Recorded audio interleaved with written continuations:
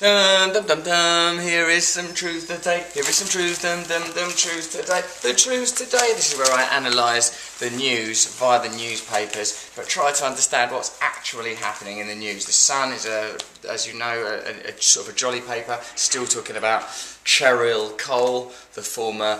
What is Cheryl Cole? She was a normal girl, apparently lovely. She was on a show called X Factor. She became famous through X Factor. Now she's going back on X Factor to be a judge on X Factor. Really, she just exists in a circuit of manufactured reality. And then it comes into this, I suppose, another bit of manufactured reality, and then we sort of read it in the same context as things like GPs to visit care homes or uh, enemy of the government, defender of working class rights. It's just dies of apparently nothing. Just dies of nothing. The last bastion of well-paid working class jobs died of nothing. Or aeroplane falls out of sky and disappears. Missing airline pilot joked with female passengers in the cockpit at 30,000 feet. What? So he's got previous for joking. You don't reckon he jokingly crashed the aeroplane in the sky, out of the sky and into the sea, do you? Yeah, I do actually. He probably done it as a joke. Well, after all, look at him. He's not really properly white, is he? He looks like the sort of person who, for a bit of a laugh, might drive an aeroplane into the bottom of the sea to meet SpongeBob. He's borrowed his hat to a bird. Step one, borrow your hat to a bird. Step two, smash aeroplane deep into the sea. Is there a relationship between those two things? I hope not. Now that they've had to thoroughly dismiss terrorism, because like, look, we can't keep saying it's terrorism. There's literally no evidence. Can we say it's the pilot's fault for skylarking around with birds? You alright then? Yeah, we'll say it's that. Interest rates to rise, all that sort of stuff that none of us truly understand. So that is placed in the same context as Cheryl Cole, nice person presumably, but you know, someone who exists in a circuit of manufactured entertainment, entertainment really. So we're presented all this information as if it's of the same kind of significance. So how are we meant to make valid decisions on life? There it is, page three. I suppose the reason I have page three is because I'm a 38 year old man. I've seen boobs a lot of times. Still affects me.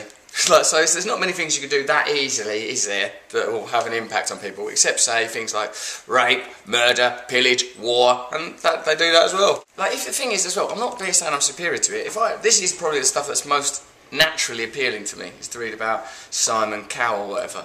You know, that's what I would naturally do. I'm not going, look, you should read news about really boring stuff. Like, but I'm just saying, why are they doing this? Tesco's is the biggest sort of uh, British uh, supermarket. There's their friendly, chummy little advert as they drain our country of all its money. What is it, one pound in seven spent there? Look at that, it's like, it's like it's talking to an idiot child, isn't it? Look at these colours.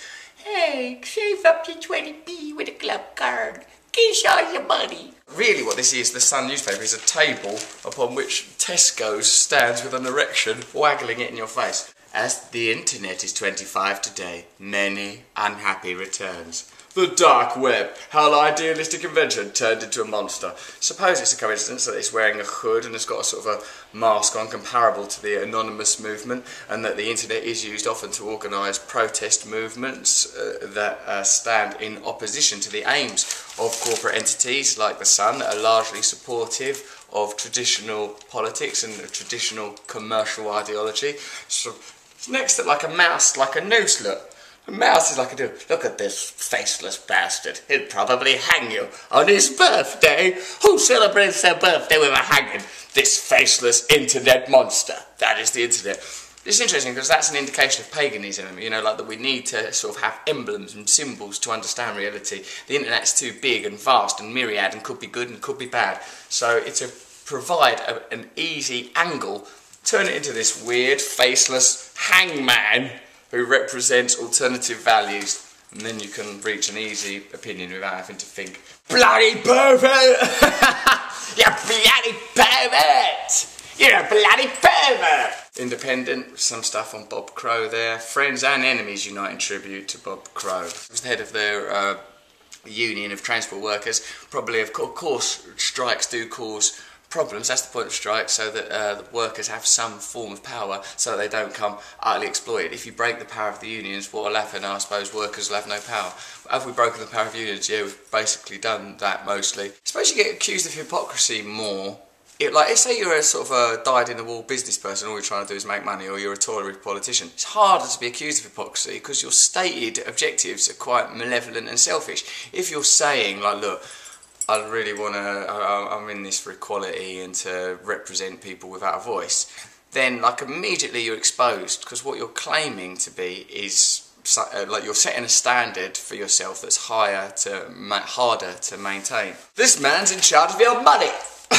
That's the chancellor of our country. That means he's in charge of the money of England. Look at him, he's got this boat. Hello! Hey, Mom! Hey, Dad, I got that job! Well, we always knew you were George. Is it because of natural ability? I think you know it isn't, George.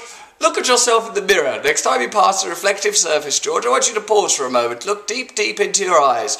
There's a twinkle deep within there. That's a divine spark. You've forgotten that, George, because you're more interested in this weird red lunchbox thing within which you claim the decimation of the dreams of millions and millions of people, the destruction of society's most vulnerable members. Thanks, Mum, Dad! Well, they didn't used to do this in newspapers, have the guy that's written it popping up. Hello, I'm seeing this now. Oh, thanks, Hamish. this is the mood of the mail. Oh, bloody hell. Yeah, my varicose veins are playing up. Yeah, bloody next door. Yeah, they keep parking in the drive. NHS 2014, sick boy, two, left on two chairs for six hours with a drip in his arm because no bed was available. Right, well, there's only one conclusion to draw from this. The National Health Service has got too much money, let's give it less, let's privatise it and give it to people whose only interests are economic. That is what we can conclude from this image of a boy in a chair. Like that's written into sort of illicit responses like, oh, I think it's disgraceful the NHS, uh, yeah, it should be shut down, what's the point, they're not fulfilling their brief. Then so when people go, then the government will say, the only solution is to privatise the NHS, and you'll go, or I'll go, yeah, I remember I see that boy in a chair, perhaps it is good to privatise the NHS. You may be PM, but I'm in the driving seat now, Daddy.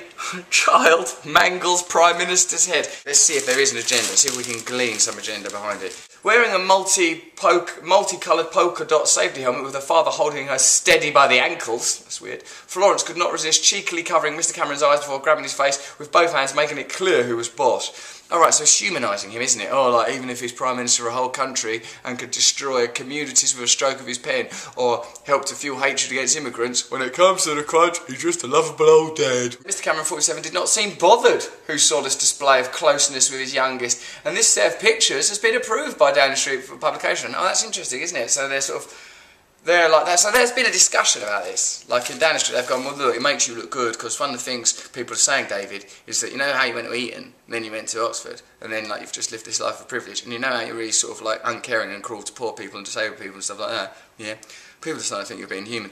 Put papers of you being nice to your kid in, and then that at least offers some glimmer of humanity to people as they trudge through their grim, glum lives, knowing you could do so much more to help them. So we approve these photos. Then the Mail has to put this approved because they're more nervous about press intrusion. So there is some interesting grammar about a newspaper's work in this simplistic puff piece about a man and a child. After dropping Florence off, it was business as usual for the Prime Minister as he dashed back for a cabinet meeting. Mr Cameron has spoken candidly about the challenge of juggling the school run with running the country. He said maybe once a week, sometimes once a fortnight, tragically, sometimes once a month. I managed to take my children to school. But it's got to be possible to be a decent husband, a good father, and a good Prime Minister at the same time.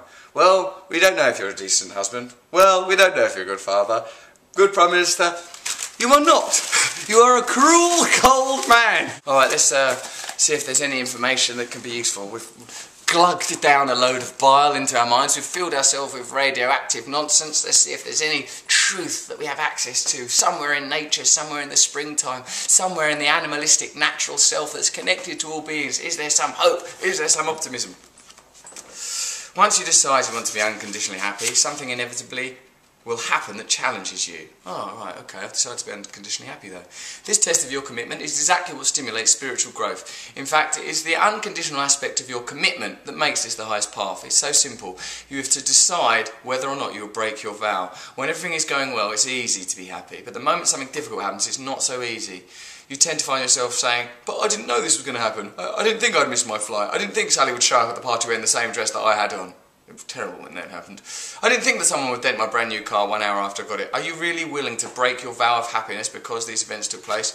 So I suppose what it is, is to, like, we're trying to have a relationship with some sort of higher consciousness, some higher version of the self, to picture in the mind a version of the self that is more beautiful, and to remain in contact with that in spite of the constant interruptions, distractions, and disruptions that society, the world, and everyday life, not just great big, you know, sort of conspiratorial media empires and governments and big business, but just like, you know, tripping over, stubbing your toe, having an argument with someone on the street, or your bike's got a flat tyre, whatever it is. Can you, through these events on the mundial plane, on the plane of Earth, on the material solid plane, maintain contact with something higher? Like there's a subtler realm that we can't access because our senses are here for more gross and obvious frequencies, more obvious frequencies, but behind that there is a subtler realm, and if we can maintain some kind of intuitive connection with that, all this stuff will be less important.